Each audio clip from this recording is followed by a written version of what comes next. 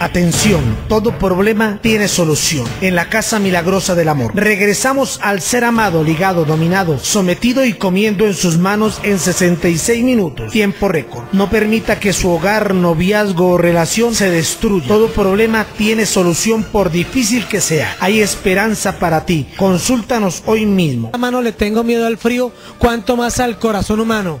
Hoy en día que reina más la maldad que la propia caridad, que nosotros en realidad tenemos que estar protegiéndonos, cargar elementales de apoyo, elementos que nos ayuden a salir adelante, verdaderas contras, verdaderos secretos, verdaderas aseguranzas, resguardos, amuletos, protectores que nos ayuden en nuestro diario vivir, en nuestra vida eterna.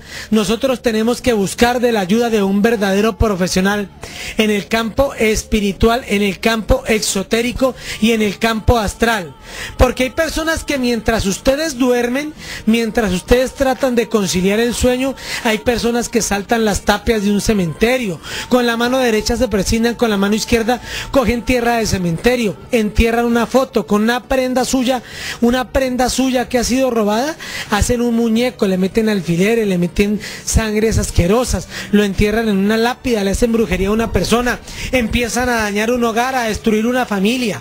Porque en la viña del Señor, queridos hermanos, hay toda clase de personas. En la viña del Señor hay ovejas buenas y ovejas malas, hermanitos.